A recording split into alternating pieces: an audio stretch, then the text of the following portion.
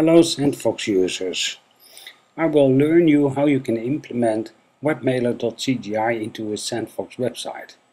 We will use Webmailer instead of the standard Sandvox contact form. And why use Webmailer? Well, Webmailer can send an auto-response message, message and Webmailer will run on your own server.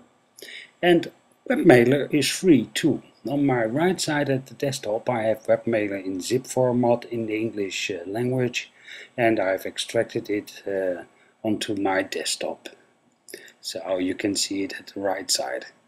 Now let's take a look inside that folder and we have four files. We have a README, we have a template, a sample form and a webmailer. README, I suggest to read it, it's uh, quite important. The template you can delete, we're gonna make one in Sandvox. And the sample form, well, the sample form is quite handy. We're gonna paste, copy and paste some things and we use it in Sandvox. Webmailer.cgi, uh, uh, you need to edit something, some lines. Not too difficult. Let's uh, take a look. Now I open now webmailer.cgi and the first thing you see is the path to Perl. Um, in the README you can learn about that and probably it's okay like that, but you can change it. This is, uh, you need to edit to your site and change the email address and at refer you need to put the full URL to your contact form. So that's also an important line. And we were going to make that in Sandvox. The yes is an auto response and that means that you put in, you have to put in your email address here and a little bit lower you see that it is a thank you in the subject. This you can change to suit your needs and this will I will select this and then this you can start with editing your own text and this part you can delete if you don't like that. Uh, lower you will see the template.html, this we're gonna make in Sandvox and uh, the email address you can delete too but change it. So that's it and then stop editing uh, this uh, spot and that's all you need to do in webmailer.cgi. Uh, it's also explained how you have to uh, upload it and chmod it on Unix servers.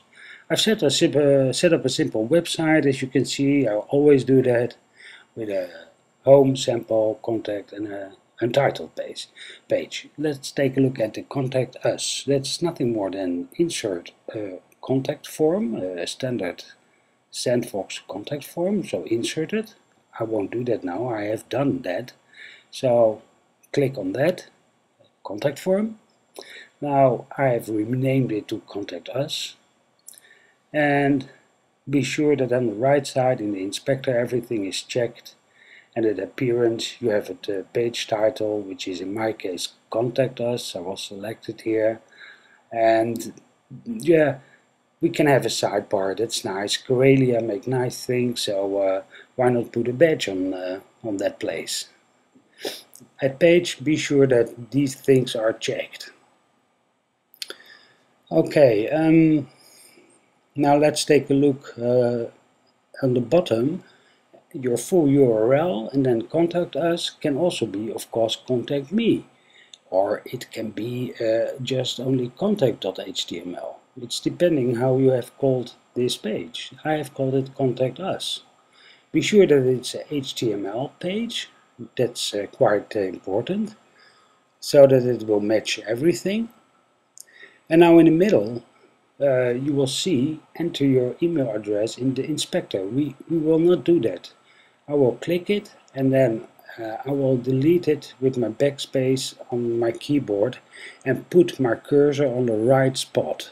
So when we insert a raw HTML at the uh, objects, look here, I will insert a raw HTML, it will be on the right position. So now you can also see it's selected through the, uh, because you see arrows and you can edit it because it's selected. But that's for later.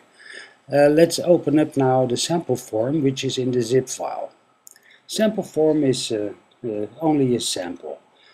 You need to uh, you need to change um, the action and uh, form action. You will see there is uh, highlighted uh, www.mysite.com. You have to change that part to your site. And we need to copy the form to the end of the form and then copy it with the right mouse click and then copy with the left mouse click. Quite easy and we're done. Be sure that the URL, your URL is okay. Now you, you can save it or not, it doesn't matter because we don't use it anymore. It is uh, now that we gonna paste it into the raw HTML. We now can click on the edit raw HTML button and well let's take a look. Uh, select it and paste it and validate it. Sure it's okay. And now update view, update preview and I can close it with this window and I have a neat contact form in a neat Sandvox design. Not too difficult I think, maybe too quick, but you can always uh, play back this uh, video. Now this is uh, an untitled page. Go to new, this is your template, and insert an empty text without sidebar. So that's what I've done. Don't do it again.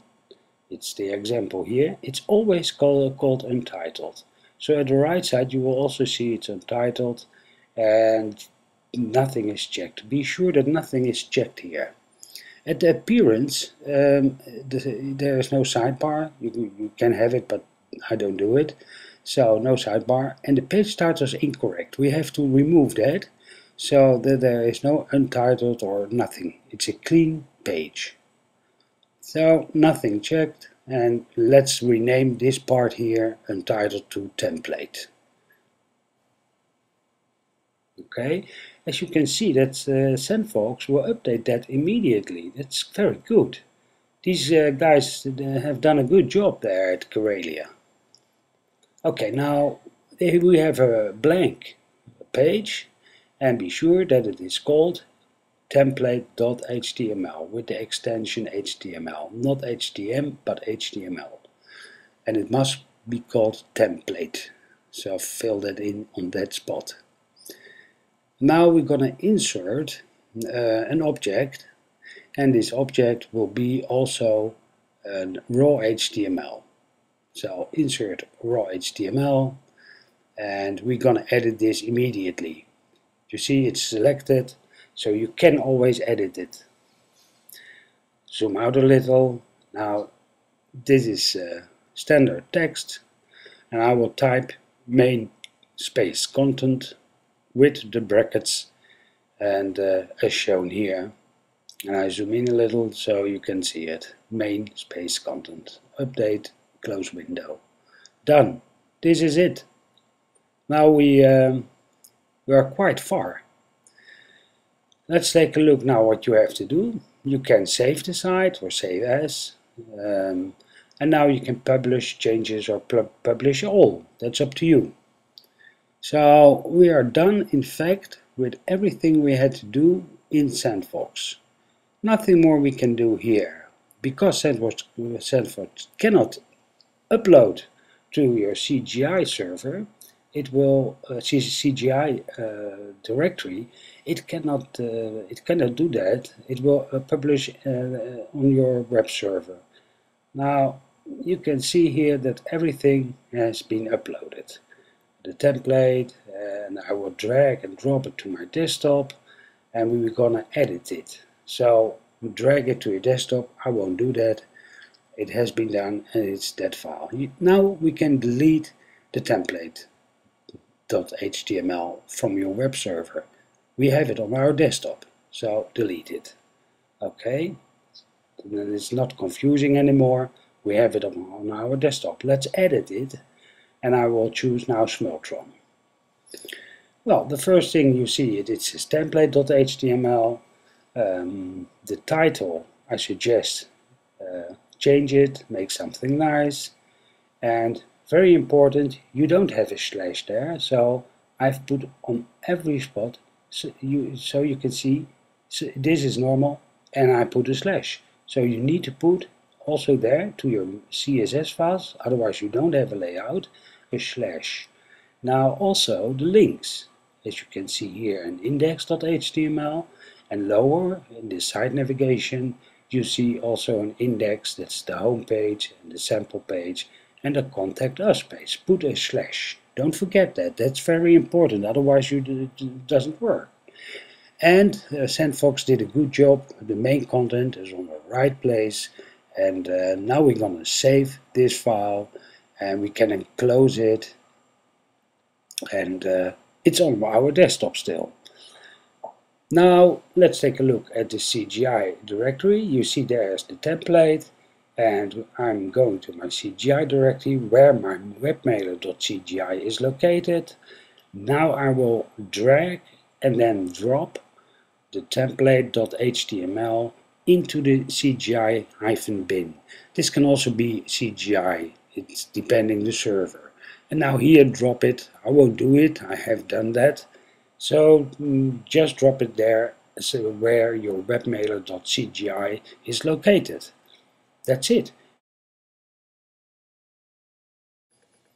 I've opened up uh, Safari web browser.